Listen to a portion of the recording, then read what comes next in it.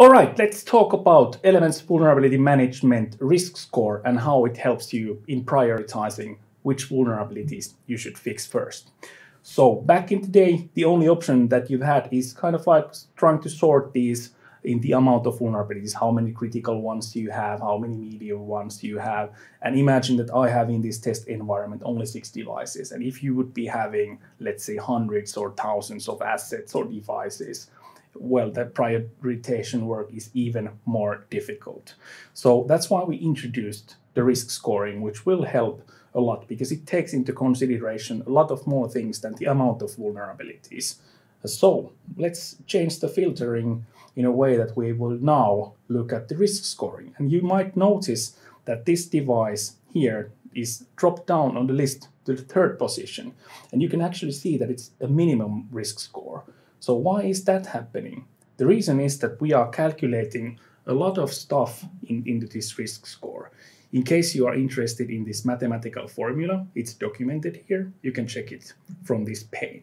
But we can now see that actually we only have one really serious risk score, and then we have one low, and the rest of them are minimum.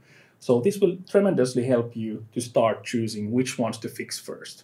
So why this one is now serious here with the point of score of sorry score of 83 out of 100. The reason is that we also calculate the importance of the asset.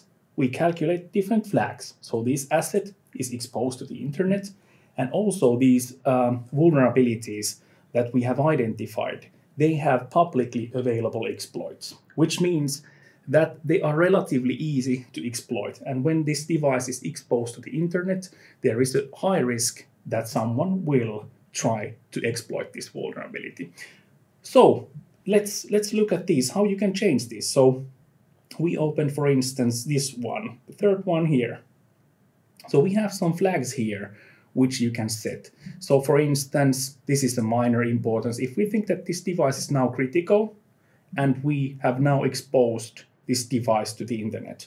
I'll hit save and we see immediately the asset risk score changed to moderate. And then if we go back to the assets view, we can see that now this device is actually more, it has more priority due to the fact that we, it is now internet exposed and it's critical in the importance.